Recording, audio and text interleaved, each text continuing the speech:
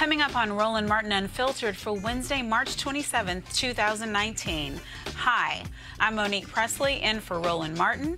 He will be back tomorrow, and I know you will all be glad about that. But in today's show, the man who drove his car into a crowd of counter protesters at the Charlottesville Unite the Right rally had pled guilty to hate crimes. Facebook bans posts featuring racist content. It's about damn time. The Trump administration cuts all federal funding for the Special Olympics. Well, I mean, actually, they proposed the cuts, but it's still cruel and dumb. Congresswoman Barbara Lee takes Secretary of State Betsy DeVos to the woodshed on her decision to curtail oversight of discrimination in school discipline. We've got the video and the receipts. A new fight over health care. The Democrats introduced legislation to strengthen the Affordable Care Act. Trump wants to kill it in the courts. Even Republicans, they used to be Republicans, right, are appalled. The president of the American Federation of State, County, and Municipal Employees, or AFS MEE, sits down with Roland for an in depth interview on the key role unions play to empower workers and combat income inequality. A hunger strike to end violence enter its 19th day. We'll talk to a man on strike. Another Congresswoman of color. There are so many now. I'm so thankful. this time, Alexandria Ocasio Cortez of New York issues a thoughtful and devastating beatdown of critics of her Green New Deal. I mean, if you don't have anything, don't say anything, right? We've got the inspiring video.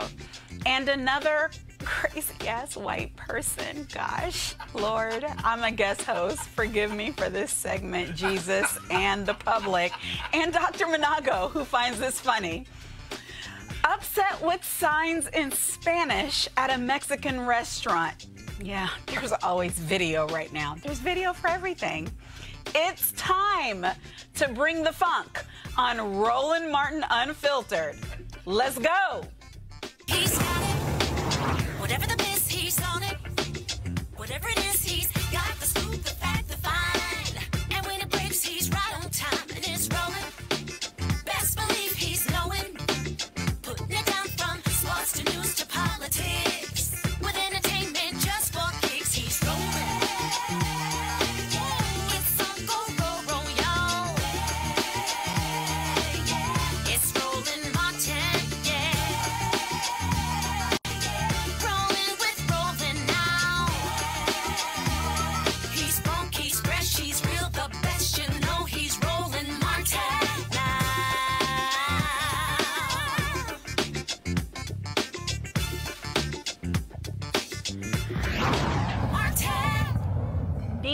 Nazi James Alex Fields Jr., I hate even saying that, pled guilty to federal hate crimes late today.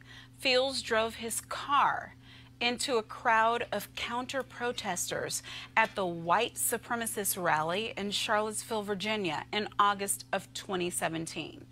You know, the fine people on both sides rally. We all remember who said that, right? Fields took the deal to avoid the death penalty. He was convicted in state court of first degree murder and was sentenced to life in prison. Fields murdered Heather Heyer and, and injured dozens more. And all that relates to our next story. Facebook announced today that Facebook and Instagram which it owns, how many of y'all didn't know that? Will ban praise, support, and representation of white nationalism and separatism. The ban takes effect next week after years of pressure from civil rights and social justice groups like the Lawyers Committee for Civil Rights Under Law and Color of Change. I love all of them. Facebook had previously banned white supremacist content. Brian Fishman, Facebook's counterterrorism policy director, said, quote, we decided that the overlap between white nationalism, separatism, and white supremacy is so extensive, we really can't make a meaningful distinction between them. Facebook said in its statement, searches for terms associated with white supremacy will surface a link to, quote, life after hate. I'm sorry, I can't stop laughing. White, sorry, white life. Life After Hates page where people can find support in the form of education interventions, academic research, and outreach. I cannot wait for my panel on this because I have no words. Y'all, come on, here we come in. Joining us on the panel today is John Christopher Bua, White House correspondent for Talk Media News, Deshandra Jefferson, principal with the Rabin, Rabin, Rabin, Raven. Raven Group. Close enough.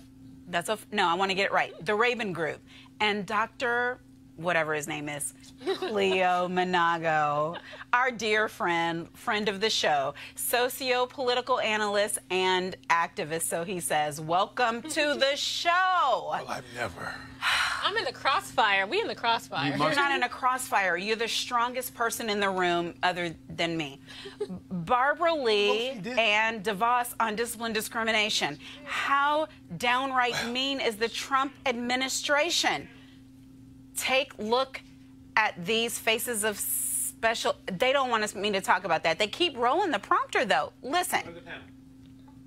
I hear you, Jay. Y'all, we rolling. ready to jump in, okay? We ready to jump Roland in isn't story. here. I just want to say I wanted to hear from the panel, but the prompter kept rolling. Don't blame me for this. Look, guys. He's the strongest one in the room. and because of that, I'm not going to you first. Dr. Bua, what say you to these strange things? Well, first of all, I am a professor and a lecturer at the Catholic University and has been at Georgetown for six years, but I don't have a PhD. So I'm a professor or adjunct, not a doctor. No, but I can call you doctor You can call me. because You can call me whatever. Dr. Manago already said. You can call me whatever you like. Exactly. But I but I have to just say that for the for the record. But it's a pleasure to be here. I've done Roland Show many times, and I'm delighted to be with you in this wonderful panel. Thank you. Now, what to say? I I got a lot to say. First but of all, limit it to the first topic because we we're have a long talking about show. we're talking about the Secretary of Education. No, Which one? Go back. Heather Heyer. yes. I know Heather. I know the area. I go there. I've been going to Heather is with heaven. I've been going to, I, I know that. I've been going to Charlottesville for 25 years. And I, every time I go, I, I leave more flowers on the spot where she was killed by that vicious, horrible man. And it wasn't both sides, which is our It point. was not both sides. It was hate. And you know what they did the night before? They marched with candles on the University of Virginia, and they said, "Jews will never replace us." You know what that means? That goes back to Nazi Germany in the 1930s.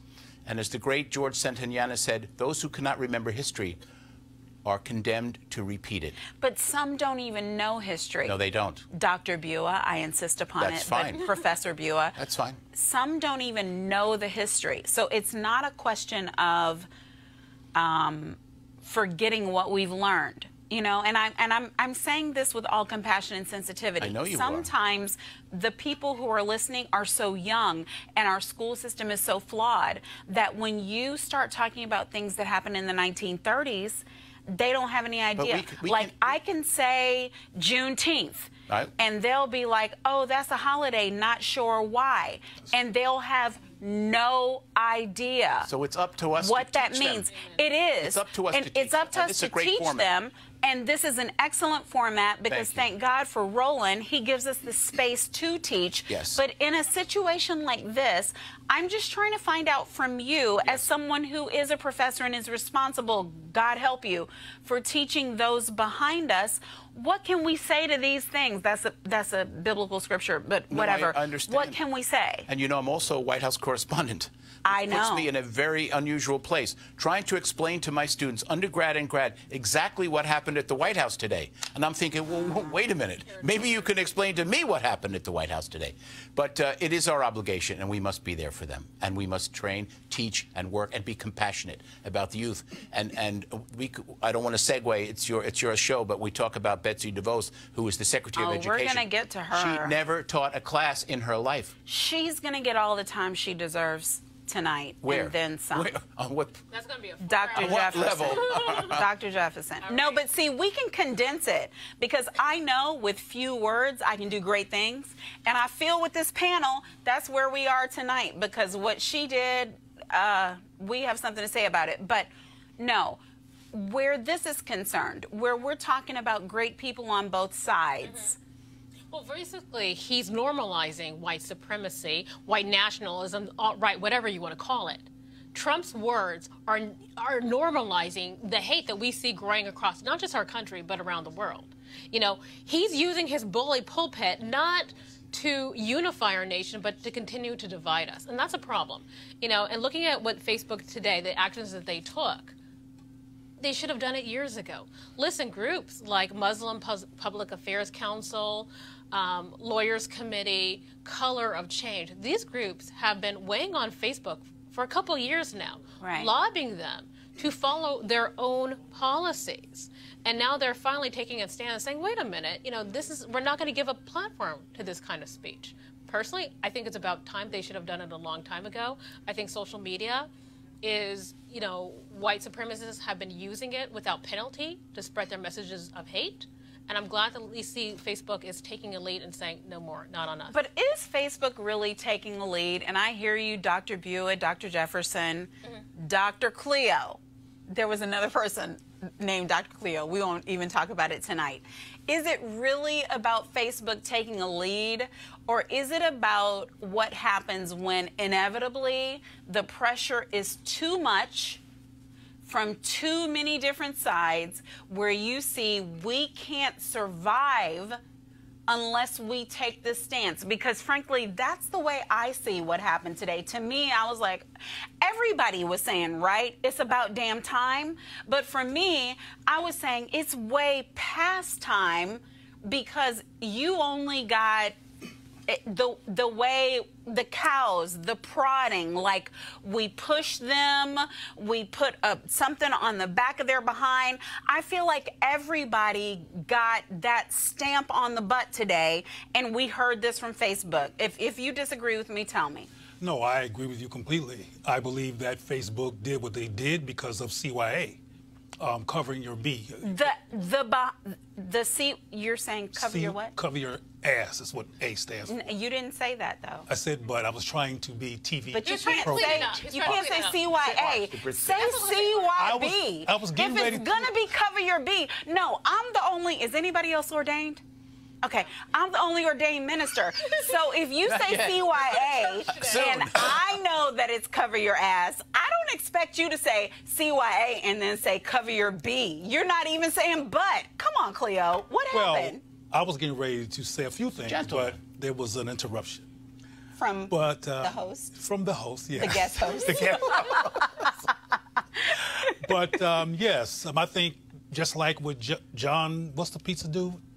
And Oh, Shaq, Papa John. Papa John and No, Shaq and all that was horrible. All these people are covering themselves, and my concern, as usual, was that we, black people and others who claim to be decent, get bought by these surface, superficial things that people do to cover themselves while they stay racist. My concern is just there really, there's really no infrastructural transformation. There's just people because Facebook has done some things that I've seen that's racist. They've even blocked people who are, who are pro-black from getting their voice across and mess with the algorithms. I mean, there's all kinds of things Facebook says. Cleo, done. Facebook and Instagram. Yes. There are um, just I don't I don't know if I want to call them journalism publications, whatever they are. They're putting news out where people are watching it like Black Wall Street and they have to post all the time and say Instagram is keeping you all from watching us. They're keeping us Yeah. from adding our numbers. Yes. And it's supposed to be a free format. I've you experienced know? that personally in my own work, which I won't get into in any detail. But again, just to reiterate the point, and in, in agreement with you, this is a superficial surface covering because these three organizations that you mentioned put so much pressure on them, and they don't want to look racist. As I said on shows before, even there's Klan members who don't want to deal with the public shame of looking racist, so they put on a face to make sheep. themselves look like they're not, but they have not changed. A face of mayor, a face of congressman, a face of president. Okay. Um, how downright mean is the Trump administration? Take a look at these faces of Special Olympics.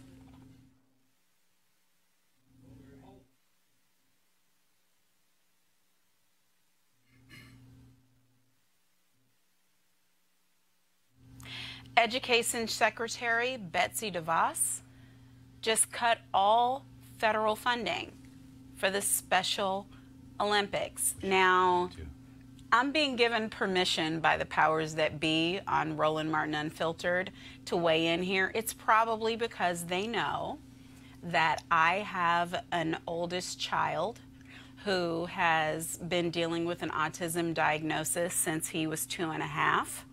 I have been a part of what it means to be in the special education system. I have a child who has great ability in athletics, who has great ability in education, but doesn't fit into the norms of what would be accepted without programs like what was started by the Kennedy family, Yes. the Shriver Yes. family. Thank you. And so I'm thankful for this little ad lib three seconds because I tweeted and I didn't say anything because I was so mad when I saw what was being done. I just said no words. And for everybody who was following me, they retweeted my no words because when you have an administration that is so evil and just sacrosanct and demonic that when they look for cuts in a proposed budget, what they choose is the Special Olympics? The opportunity for our children to shine when they can't shine in academia, when they can't shine in artistry, but they still have athletic talent. They didn't mean for the, me to go this long, but okay. Here's what I'll say is I find it odd that Secretary DeVos, that second lady of the United States, and first lady of the United States went, visited, contributed, participated in Special Olympic events, just like Meghan McCain said recently. You were at my wedding, Denise. They were all at the Special Olympics, but now they want to cut funding. I'm going to take it to the panel. I feel like because she's a sister in the struggle, come on, Dr. Jefferson, what say you? This is a hard one to speak on because our budget is a reflection of our values. What kind of values do we have if we are targeting the weakest and the most vulnerable amongst us? You know, and even if these children may not have a necessarily a special athletic talent, it is a celebration of them. It is allowing them to be different and to take part. I mean, let, let's face it. I, I don't know the difference between football and basketball, but sports are an integral part of our country. And we have children who want to get out there. I really do. I'm just saying. I'm, I'm exaggerating a little much, but don't ask me names. Don't do that on this show because I have like in this space, I kind of have spirit of Roland, which is Mm-hmm. so different from my own spirit. But I feel the need to call you out. if you say you don't need, you don't understand the difference son between football basketball. and basketball. But, okay, I- I am just and not- you seem so fit. I'm just, I'm Girl, just, we can have a talk over the show because I, you know, but anyway, this is like fit and me do not get along, okay? I was the kid, the last one picked for every sport. it, carry it well. Don't tell anyone. We're all seeing you. Fool me.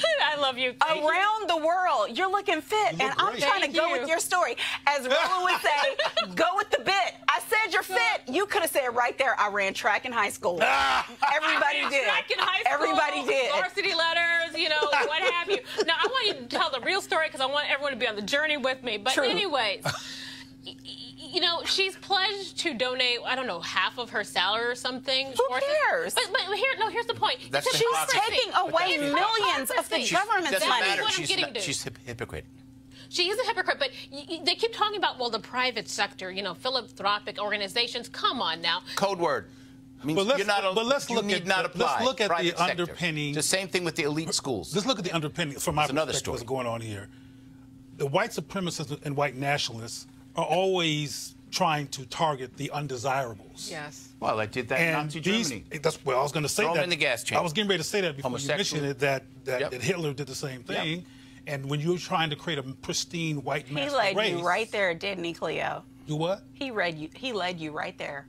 Well, it's not difficult. You weren't going to go there, Oh, but I yes. appreciate. I think he was. See the between, look. between Dr. Bua. Was it on your notes? It's- it's that page notes. is blank. Stop it. No. No, no, No. There are receipts. He got receipts. But my point is, We're but my all in this point is. I don't believe that, Cleo. I want to challenge you on that because You don't believe what? I don't believe that DeVos was always heading that direction because when Oh, well, I'm not when talking about when DeVos. when Marie DeVos Shriver no because Marie Shriver rarely does this. You know, she's always trying to look for that space where she can say, "Okay, I see your point and this point and et cetera and so on." And sometimes when I'm following on Twitter, I'm like, "Oh God, you are a diehard liberal just for today. Stand up," you know. But today she came hard. She was like, Mm-mm. "If you're looking for your cuts." You don't have to aim at Special Olympians. You don't have to aim at, you know, I have a child on the autism spectrum, and that's also what they're trying to do. You don't have to aim at people. I'm not even going to get into healthcare right now. But my point is, as Dr. Bew or Dr. Jefferson were saying, what they're about to do now, this is Trumpian. Well, because because Betsy DeVos was fine not just visiting but leaving a check when she was in the private Well- sector. And it was- Jay, When- when you- Jay won't you- let me when you- talk. Stop. Everybody stop. DeVos is also proposing other cuts to teacher training and Pell Grants for low income students for college, Oh, I'm saying there just isn't enough money. But there was plenty of money for tax cuts to the richest 1%. Betsy DeVos also, well, she did not gut. Jay, I'm, I'm, I have spirit of one of my clients who calls out the person who makes you read stuff. I can't say who the client is. But anyway, Betsy DeVos also attempted to gut, proposes gutting the Department of Education's effort to stop discrimination in school discipline against students of color. Congressman Barbara Lee of Oakland, thank God for California, or we would all just die, asked why at a hearing yesterday on Capitol Hill. Do we have a tape? Congresswoman, uh, no, no child should be treated or disciplined differently based on his or her race or color or national origin. And if and when they are, our Office for Civil Rights will act swiftly, has act swift, acted swiftly. Um, children need to be treated as individuals, not They're as not being treated as individuals. That's why are. we had this uh, order put in place. And you rescinded that. Again, any student that is treated or disciplined differently because of his or her color or race Madam is going to Secretary, be- that- the that Department of Civil Rights, your own Department of Education, Office of Civil Rights indicated that students of color are suspended three times more than white students. We put into place some requirements that would begin to turn this around. You rescinded those requirements. So what Again, message no does this send to student- school No student should be treated or disciplined differently But Madam Secretary, they are treated differently. They are treated discipline No, if they, if differently. they are, it's discrimination. Well, then The why in the world would you And the Office rescind the orders that would correct for this? The letter amounted to quotas. Madam- Children are individuals, they're not. Madam Secretary, this didn't- This didn't involve quotas. This gave direction on how to correct this horrible pro- problem that we have throughout the country. You go to any community of color where you have schools that are trying to, with minimal resources, provide the best education they can, and you will see what is taking place. So this did not amount to quotas. This amounted to providing those tools and guidance to make sure that students' civil rights are protected. And you rescinded every that. community, every community needs to be able to handle their classrooms and discipline in the way that works for them. And if Madam Secretary, child- thank God we had Brown child- versus Board of Education. The federal government gave us a chance to go to public schools. We needed the federal race, government to provide that oversight for civil rights protections. Democrats today proposed legislation to strengthen and improve the Affordable Care Act. Thank God she mentioned Brown versus Board of Education. They won't let me talk about it, but whatever. We're moving mm. on. Trump announces that the Republicans will be the party of health care. And Senator Schumer, by the way, said in a corrected tweet, they will be the party that was the end of health care. But moving on, embraced his administration's efforts to get it overturned in the courts. This is such a bad idea, parentheses, demonic in parentheses, that even the usually spineless GOP House Minority Leader Kevin McCarthy called Trump and asked him not to pick this fight. Hmm. McCarthy remembers that Democrats running on health care picked up 40 seats in the November midterms. Trump says he will have a plan better than the Obamacare, something he has been saying for three years. He really, he's been saying it so much longer than that. Another critic of the Trump's plans to destroy the Affordable Care Act is Lee Saunders, the president of the American Federation of State, County, and Municipal Employees, or AFSCME. Roland sat down with him yesterday. They talked about that and about the collective power unions the collective power unions have to level the playing field for workers. Way, first of all, I'm gonna deal. Let's deal with the Affordable Care Act. So all of a sudden, Department of Justice, we're not going to defend the law. The Trump folks want to get rid of all of it. This is what I keep saying to all of these broke, poor, white conservative voters in Kentucky, Mississippi, Alabama, all these places, folks where they hated Obamacare, but they love the Affordable Care Act. Hashtag we tried to tell you. It's going to disappear. According, I mean, to, according to what they want to do, it's going to disappear. And the question is not only the impact that this will have on folks all over the country, not just in urban areas, but in rural areas, Appalachia, everywhere. But what is the plan if, in fact, it disappears? There is no plan. So millions and millions of people are going to be without health care. And it's unconscionable, unconscionable that somebody would even propose doing something like this. Yet they are. With no plan, Roland, there is no plan to replace it. Right. I mean, I've been, I mean, we have 50 plus votes to repeal and replace. He trashes the late Senator John McCain left and right all over the place, saying, oh, he voted against it. You would have had great health care if he didn't vote for it. I- I'm still trying to see what what's the plan. I keep hearing, oh, you could cross state lines. I, I, I still haven't seen anything. Smoke and mirrors, no plan, period. So it, it's just again, it's, it's amazing to me. Also, gotta get your take on him attacking uh, the GM union, uh, the GM plant shutting down in Ohio, trashing the union leader who was say, saying, "Dude, we tried to email you. Uh, what's going on?" Senator Tim, Ry- Congressman Tim Ryan said the same thing. Hey, we hit you up, got no response from you. Again, smoke and mirrors. All these union workers in Ohio, other places who supported Trump. Are they now going buyer's remorse? I, I think that uh, many are.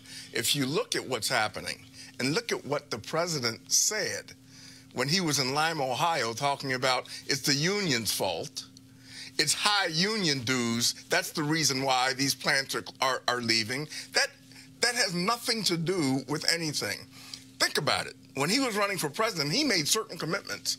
He said that he was going to keep manufacturing in this country.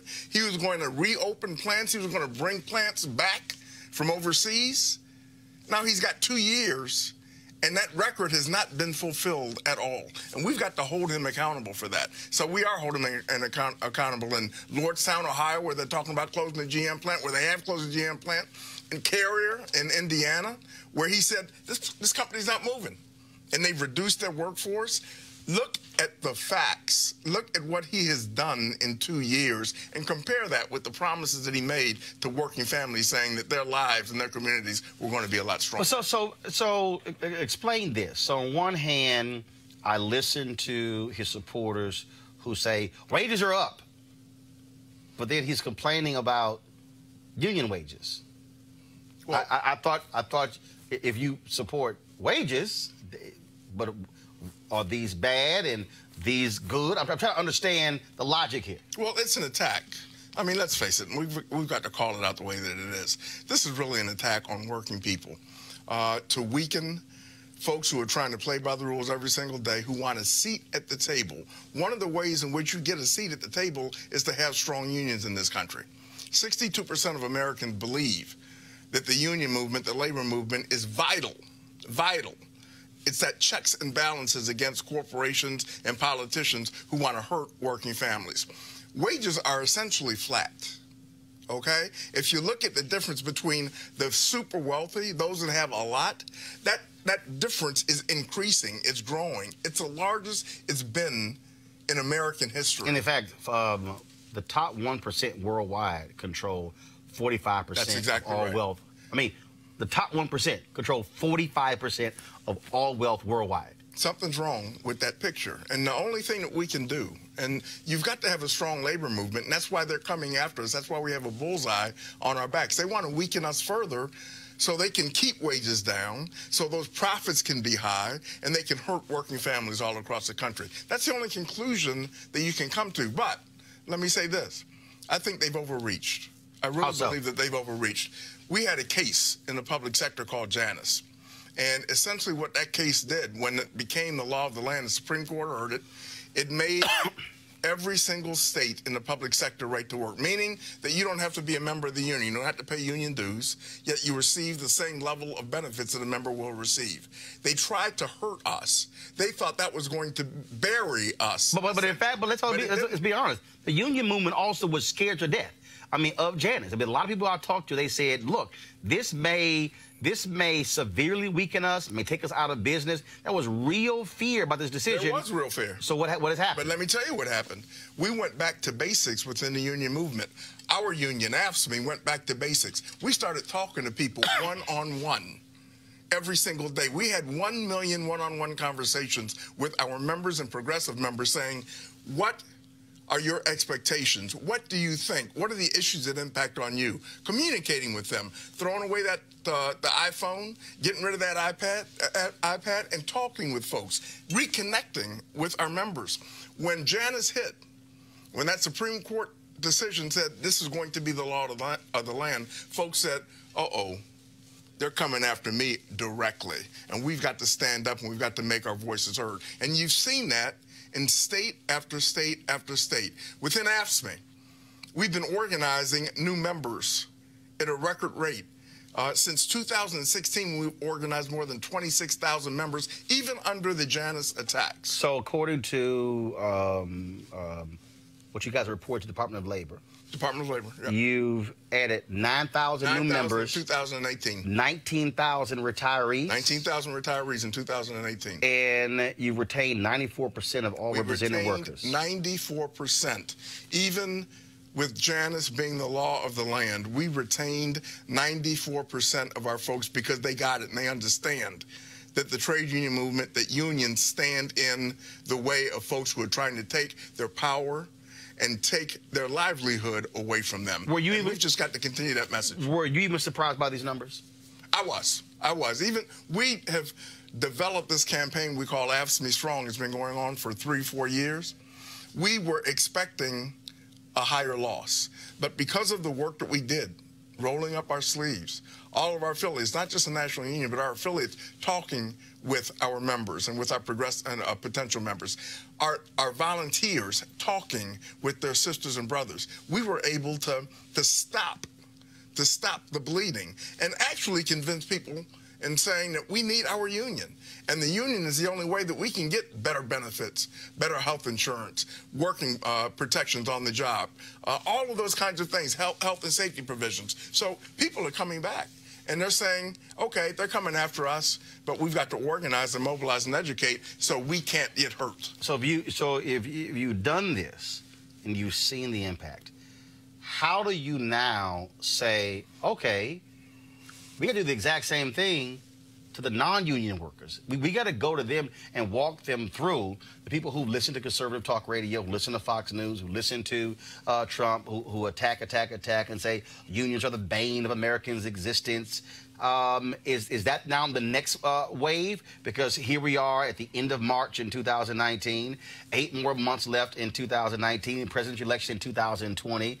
Uh, and to me, this is going to be, especially now with Trump attacking the Affordable Care Act, uh, this is going to be a huge issue. So how do like what's the next phase? We've got to talk about what he is doing that is hurting working families. As I said earlier, there is a track record now, a two-year track record, things that he promised versus things that he is doing. And it is very clear that he's going after working families. Health care, okay? The tax breaks that he gave the wealthy corporations in the one, top 1%, while the average worker was getting hurt.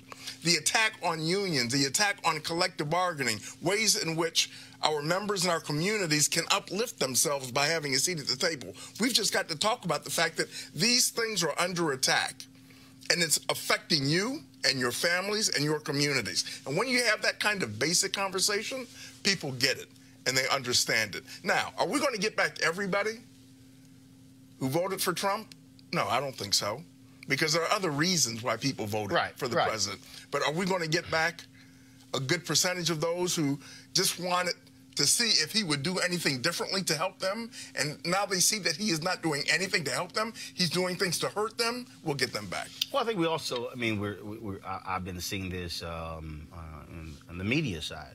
Uh, I look at BuzzFeed, I look at uh, the Los Angeles Times, I look at all these other different media outlets where workers have organized themselves and they've actually uh, joined uh, unions because they said, oh, wait a minute, hold up. You know, we, we thought uh, technology companies were taking care of us, but then it's also big business. And I think that, that that's the piece that uh, I think for a lot of people, they really don't understand. And, and, and, and I, you've heard me say it before, and I have no issue, even if asked me being a partner of ours, I think the unions have hurt themselves by not – by allowing by allowing someone else to control the narrative and not telling their story. I mean, we celebrate Labor Day every single year, and the average person has no idea uh, where that even came from. Uh, you, you can go through just so many different things that are part of our daily life, and if you ask the average person, how do you think that actually came about? They have no union. They have no idea that actually that was the result of hard work from unions. And you're right. I mean, we have got to take the full responsibility of educating uh, not only our union members, but working families who may not be in unions because they've had a positive, unions have had a positive Im impact on their lives also. That's why you and I have a good relationship because you have an audience that we want to connect with. We want to educate and mobilize that audience to say this is what trade unions have done for you and your family. Oh no! I mean, I'm, I'm, look. My dad worked for Amtrak. Yep. I mean, the reality is that's what I mean. That's what took care of our family and put put me through college and uh, you know to this day. So so I you know I I lived that experience and that's what I think also is is interesting. Uh, and I'll be I'll be so it just popped into my head. I'd be very curious. Um, do y'all do y'all have a campaign uh, that that in, that involves uh, next generation folks who who who have grown up now, who can tell a story of I'm where I am because my mom or dad was in a union? Mm-hmm. And within AFSCME, we have what we call the Next Wave program, which is the young members, 35 and under, and we have them telling a story as far as what the union has meant to them and their families, their mothers and fathers, their grandparents, and why we've got to really keep those benefits. We've got to keep that energy alive. And other unions are doing the same kind of thing. Something else that we've got to do is we've got to promote uh, the late labor education in public schools uh, by having specific programs where students understand and are learning about the importance of labor and what has been done. The 1968 strike in Memphis, Tennessee. Uh, I mean, that was a strike Mm-hmm. they of were sanitation 1,300 workers. sanitation workers. Right. AFSCME members. As a matter of fact, April 4th, coming uh, Mm-hmm. coming up next week. Uh, we were down in Memphis last year, Yep. the 50th anniversary, telling that story and making the connections of what the labor movement has done for our communities all across the country. We've got to continue to talk about that. Nobody else talks better about that than our members and those who have been affected and those who are in unions. Are you hearing enough about wages uh, in working class families from the Democratic candidates thus far? We are. As a matter of fact, I am very, very um, happy uh, with what the candidates are saying. And we're going to continue to push them. Make no mistake about it. But I've got to be honest with you. Five, six, seven years ago, we had some of our allies and friends in the Democratic Party that would not use or say the word union. Now they're doing it. They're even doing it when I'm not in the room. Mm-hmm. So that means that something is happening that's good, right? And we're going to continue to push that. And I think that there's a connection, and people understand that connection. People understand that we are the checks and balances against those who are trying to take our rights away from us. So our friends are standing up to the plate. And you look at what happened in the election in 2018, where we were able to flip seven governor's seats. We were able to flip some state legislatures because people concentrated and talked about the importance of supporting working families all across this country. But I think one of the things that, um, again, um, when you go back to narrative, and look, and look, I mean, I'm in that business, um, is that we we, we, we created this uh, this picture of uh, through celebrity, I think through just hype of of these huge companies. I mean, just and and, and uh, billionaires and lifestyles and things along those lines. I think like people got so consumed. I mean, look, and I, look, look, all the hype around Trump. Oh, oh, oh, he's rich and successful. Then I kept going. Yeah, but there were people at his casinos, small business owners, who he wouldn't pay, mm-hmm. and then would tell them, "Oh, I'll I'll hold you up in court, so I'm going to pay you ten cents on the dollar." Mm-hmm. And I'm going, so you take pride in that? You, you so you, you're siding with him over that small business owner, and you're saying, "Oh, that's a good businessman," and you're taking pride in that. But how would you feel when your boss does it? And I think when we look at uh, so many other companies, even technology companies, I think I think a lot of Americans got so wrapped up in also media hype that was driving this that they didn't realize that uh, I'm actually being screwed by this. We, we, we were taught, oh, consolidation is great and it's wonderful. But I mean, right now, Hollywood studios are realizing this. Fox is laying off 4,000 people because of Disney acquiring. It's four, and those jobs are not coming back. And so I think what's happening is, I think people are people have to be trained to go, okay, you're getting screwed. So you might think this is great what you're watching on television, but how much money is in your pockets? Can your children get a job? Can they be fed? Can they be educated? Will you have health care?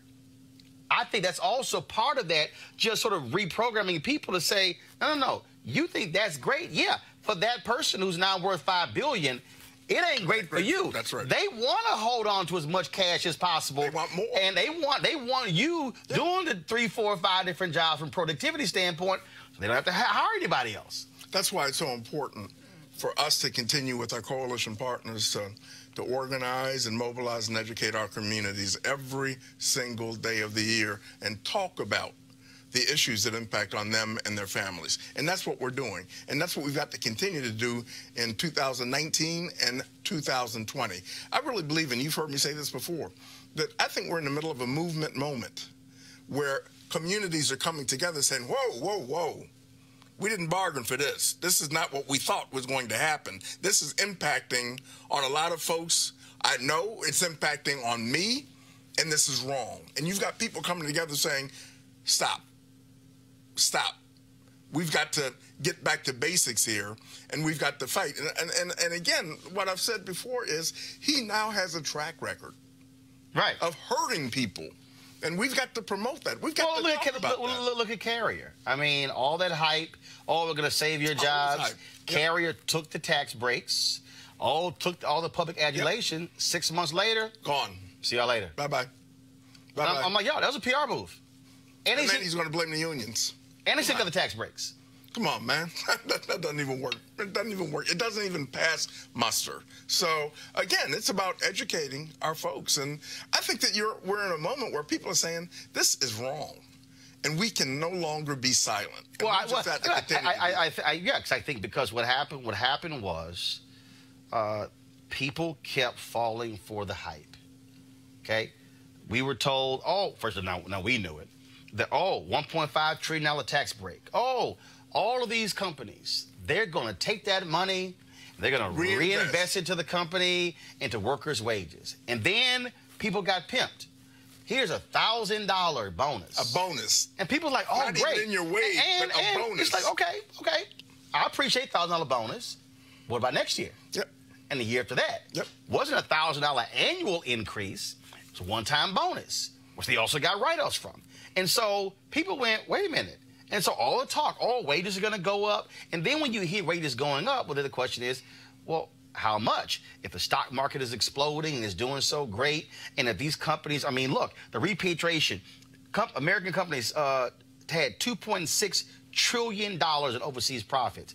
They had no intentions, and then what happened? Tax break goes through, and they sat there. Oh, we're gonna buy back stock. That money went back to the shareholders. When half of America doesn't even have money in the stock market. Right. what went to the workers? And again, I, I th- again, I think I think what happened is, I think when you watch when you watch these business networks, in many ways they look like sports networks. It's oh, the economy is zooming, it's going great, and people are like, oh, that's great. And then they see this billionaire and that billionaire. Oh my God, look at their yachts and houses, and you're going, you you you know you're broke. You know you're broke. And I think I think it became psychological. People thought that that that image meant America's back.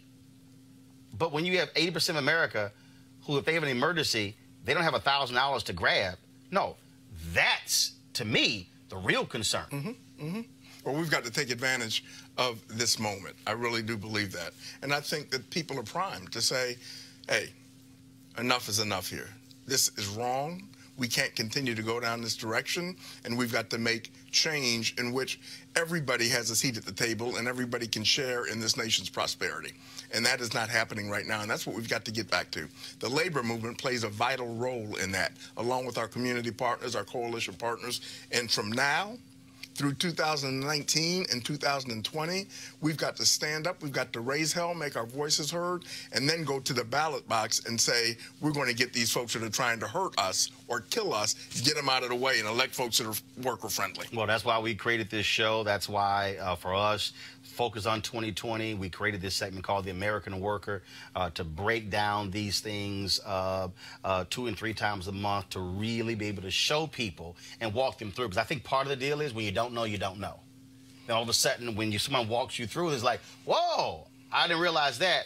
Now you understand Yep. why these things matter. So, I look forward to it. Lee, appreciate it. Thanks a bunch. Keep on fighting, man. All right, keep giving All them right. hell. Keep your voice heard.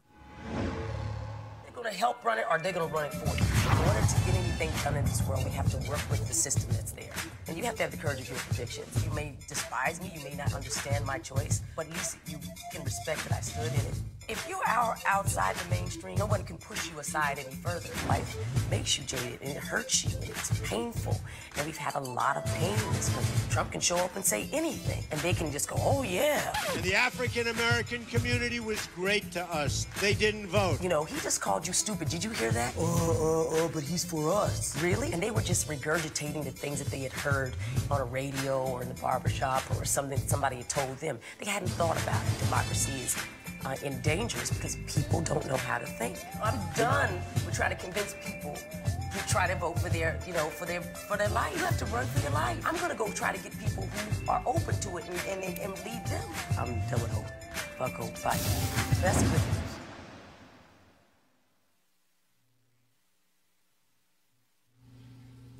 Every day, 100 Americans are killed with guns. Hundreds more are shot and injured. One third of gun deaths are murders, and black people represent the majority of murder victims. In fact, black people are 10 times more likely than whites to be killed with a gun. The government can't or won't help us. So, what can we do to decrease the number of black people dying because of gun violence? The Circle of Brotherhood is an organization of primarily black men from all walks of life who formed an organization to address the issue. Today marks the 19th day that some of these men have been on a hunger strike to draw attention to the problem of gun violence in black communities. Joining us now is the executive director of the Circle of Brotherhood, Lyle Muhammad, and a member of the Hunger Nine, Albert Muhammad. Welcome to Roland Martin Unfiltered. It's our honor to be with you, and it's our honor to be amongst this august body of men and those who are listening across the country.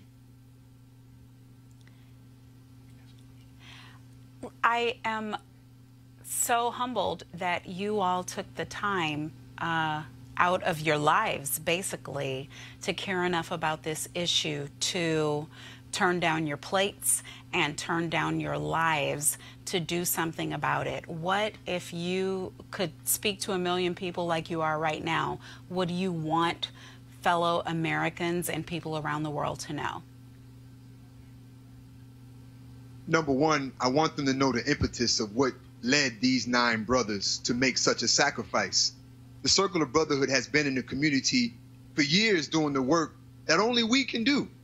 Black men who, many of us, to be honest, used to be part of the problem. In our organization, we say we come from the streets to the suites. About two months ago, some of these men you see with me now were at a vigil primarily for mothers of slain children. And it was at this vigil where our brothers were participating. It's harsh enough to hear the wailing of one mother, but they heard the wailing of then 10, then 20, then 30, 40 to 50 mothers wailing over the loss of slain children. And at that point, it pierced their hearts to such a degree that they decided that we have to do more. So conversations began to take place, which led to the development of Operation Hunger. And we want people to know across this world right now that these nine men who are here with me now have had nothing but water for the last 19 days in a show of sacrifice and commitment to decreasing the gun violence in our community, stimulating the conversations and dialogues that need to take place. We're camped out right now in what some people will call the famous Liberty Square, or others would call the infamous Pork and Beans, right on the corner of Northwest 62nd Street and Northwest 12th Avenue many areas where people are afraid to come. But we've been here, and there have been miraculous things taking place over these last 19 days. Well, thank you so much for your sacrifice. I do appreciate that. And, you know, we out here, we see your sacrifice and we don't want you to starve. I know my panel is here and we don't want you to keep being on water right there at 16th and 12th, 66th and 12th what can we take to members of Congress, to state legislatures? What is it that we can take to them that's tangible that we can say, if you do this, then these brothers will start eating again? Or if you do this, then that at least will be a catalyst for change? Really, there's nothing that we can take to Congress that will have that impact.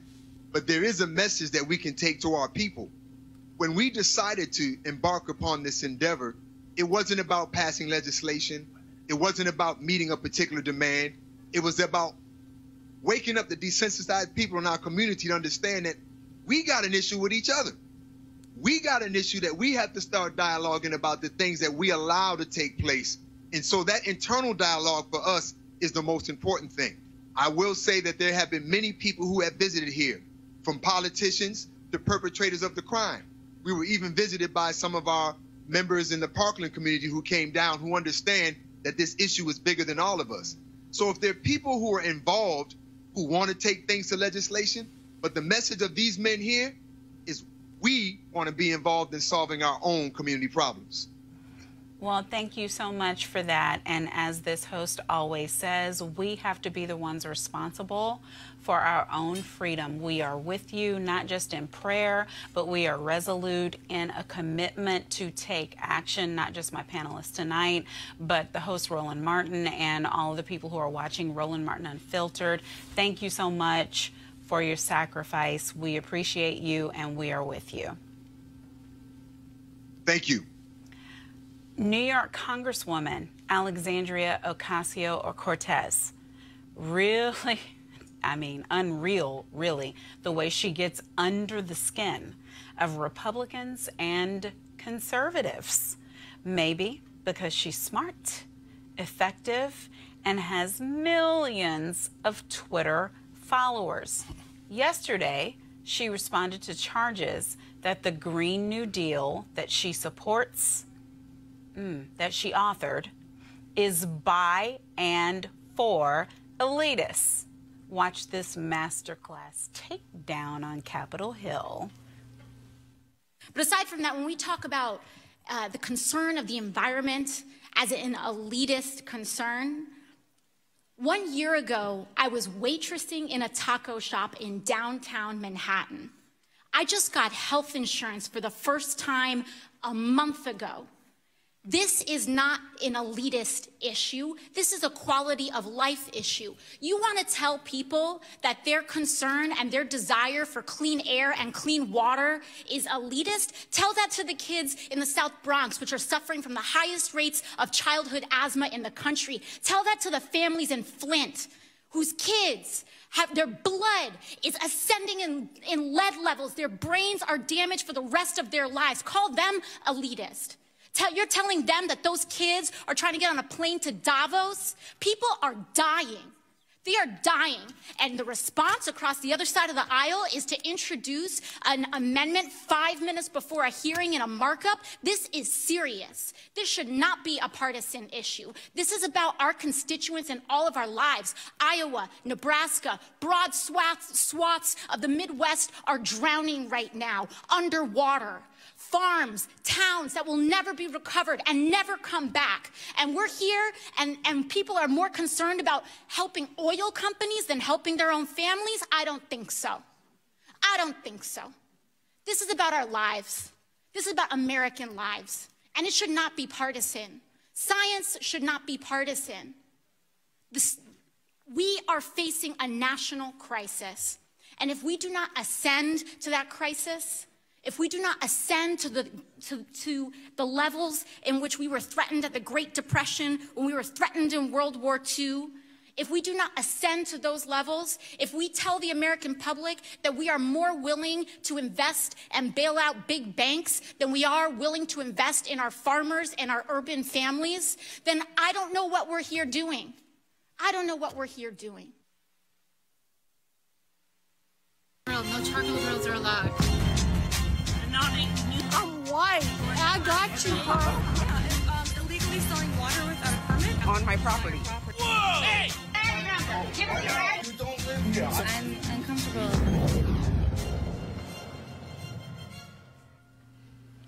This this guy is a whole order of magnitude crazy. He went to a Mexican restaurant, and then this happened says it's Mexican. We're not in Mexico. We're in America. I'm an American. I don't use Spanish. I don't use Spanish. Go get a Who you gonna call? Huh? Who are you gonna call? Immigration. For what? For you. Why? Because you're not legal. We're not in Mexico. We're in America. But like he went to a Mexican restaurant. Let's look at it again. Let's look at it again. Says it's Mexican. We're not in Mexico. We're in America. I'm an American. I don't use Spanish. I don't use Spanish. Who you gonna call? Huh? Who are you gonna call? Immigration. For what? For you. Why? Because you're not legal. I don't even know what to say. Panel, we're not in Mexico. We're in America. What say you? Can I, we all I, get along? I, have I've grown up with crazy right people in New York City. Okay, it's supposed to be a city that's integrated. Yeah. It was not, not in my day. Okay? I'll just put that on the table. I've seen enough crazy white people. I just have to tell you, your folks, because I know I love you all and Roland. Trump's disciples Yeah. deify him. he can do no wrong. That's right. Remember that. The MAGA people deify him. They have made a whatever you want to call it out of this man. And if you talk to some of those folks, nothing. Nothing. Okay? It's we're not going to get them. What we're going to have to do when I say we, as, as, as if I were a Democrat, but I'm, I'm I'm a journalist, so I'm I'm all over the place. So you're a Republican. But I have to say, but I have to say this: it is very important that Democrats choose someone who can go toe to toe with Donald Trump, and after that, Like take Avenatti? down, take down. Hold no, I didn't say, I didn't mention any words, and then go to toe to toe with Trump, and take down Vladimir Putin, who is running our nation, and then take on back, take back America from the brink of disaster because Donald Trump, who never had a job in the federal government, I've had three, and I know other people who have had them too. He doesn't know what he's doing in there. Trust me, we have to come back from the brink of disaster, and we need a very powerful man or woman who can go toe to toe with this guy and bring us back. Let's go with woman. Dr. I- Jefferson? I had a brain freeze watching that. I really did. I had a brain freeze. I'm just like Just clouded over. Just like, I mean, really? The level But it is, it's of- out there, isn't it? It's out there, and it, the thing is, it's more celebrated and it's more opening again because Trump is normalizing and celebrating white supremacies. He's giving these people the, you know, a, a good wink and a nod. Yeah, that's okay. You know, I, I'm not white. Isn't it odd to you that one person has that much power, though? He has the bully pulpit. He's the president. He's the leader of the free world. It's a little scary that that's very what a president scary. can do, though, right? It- it's, it's very scary, and it's Skip him. I'm but- done but- with him. But you know what? Elections matter. I just gotta say this. they do matter. Elections matter. Consequences. there are serious consequences, and we're starting to see people who think that they can sit out an election. You know, I don't care if it's federal. I don't care if it's your local dog catcher. All elections matter, Please and I vote. think please do vote. And I think that It's this your is an example of it. You know, I think this is an example. When you don't vote, this is what you get, America. This is what you get. Learn the lesson. And for- and, and skip the brainwash people. I understand what Dr. Bu is saying. Skip them. Well, some, because, some of them I mean, can be brought. I did talk radio Some when are I was learning. at the DNC. I was on Oliver North, G. Gordon Liddy, and you know what? Not everybody listening to talk radio, conservative talk radio, is a loon. People Some will are listen. even learning now. That's right. As today, they figure out, wait a minute, no more health care? Where's my tax They're break? figuring They're it out. their I think the taxes. reason Cleo. why I remember you and I, I remember um, Avis DeWeaver were together A long time ago. a long time ago, but I'm talking about right before it was announced that Trump was president. a long time ago. And I was at- at the restaurant and I was, you know, relaxing because I knew he was going to win. And I articulated that, and people argued with me, several people, I won't say their names. And the reason why I think that these people keep winning is because we keep on operating from a place, which we should. There's a place for logic. There's de- a definite place for rational, rational behavior. But these people are not coming from a place of rationality. They're coming from a place of desperate clinging to the idea of white supremacy and white power. These people, like this guy we just saw in the restaurant, he's not thinking rationally. He's thinking, uh, he like you said, he went to a Mexican restaurant. That's like going to a, a Japanese said, restaurant and complaining about. for And said, don't speak Mexican. Right, He's right. going there looking for a fight. What is but, that? but the bottom line is that Is that a language? Trump. educated. See, we keep focusing on Trump, but Trump had millions and millions and millions and millions of people who voted in him. Number one. Number two, Trump has not changed. Trump was Trump before he became president. People were being beaten up at, at his rallies. And what he was People was were, a performer. But the bottom line is that he was voted in after grabbing pussies. So, so we, we keep acting like. Dang, Which did cons- we have to go? He went. Well, no, it's real. I well, mean, no, that's a fact. we, we, we keep acting like something has changed. He did not grab them. He said you could.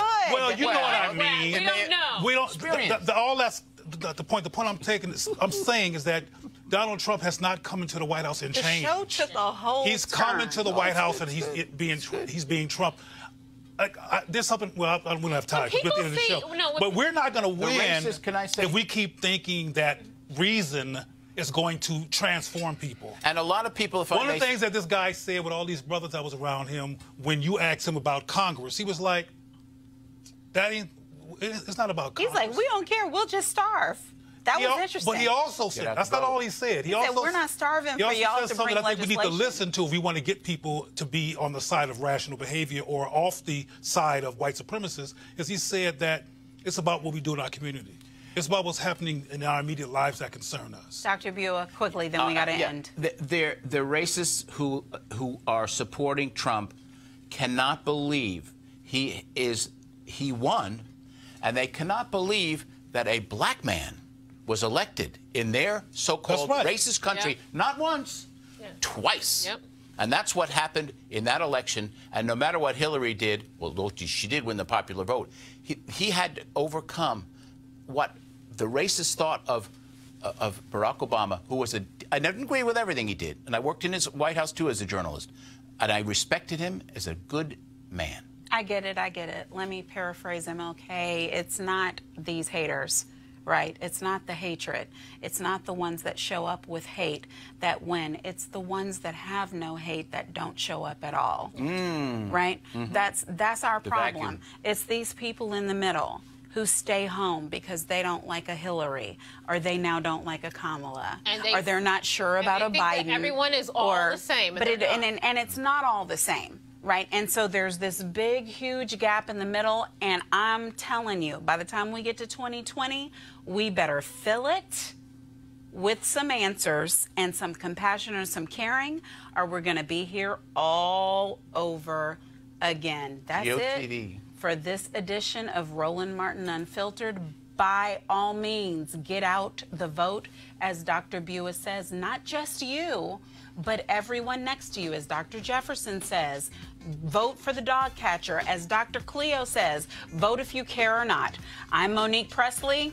Roland will be back tomorrow, live from Los Angeles. I'm no more in the chair after three seconds, two seconds, one. I'm gone. Bring the funk. Holla!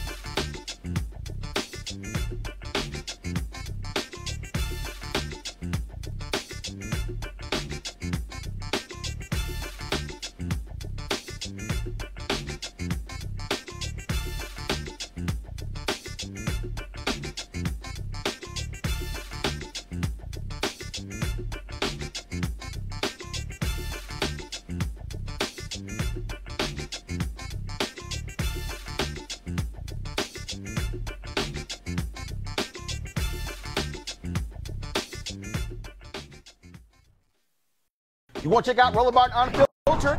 YouTube.com forward slash Roland S. Martin. And subscribe to our YouTube channel. There's only one daily digital show out here that keeps it black and keep it real. It's Roland Martin Unfiltered. See that name right there? Roland Martin Unfiltered. Like, share, and subscribe to our YouTube channel. That's youtube.com forward slash Roland S. Martin. And don't forget to turn on your notifications so when we go live, you'll know it. You want to support Roland Martin Unfiltered? Be sure to join our Bring the Funk fan club. Every dollar that you give to us supports our daily digital show. There's only one daily digital show out here that keeps it black and keep it real as Roland Martin Unfiltered. Support the Roland Martin Unfiltered daily digital show by going to RolandMartinUnfiltered.com. Our goal is to get 20,000 of our fans contributing 50 bucks each for the whole year. You can make this possible. RolandMartinUnfiltered.com. Hey fam, want to check out Roland Martin Unfiltered, the blackest show on all of digital, cable, and broadcast. Check out our audio podcast.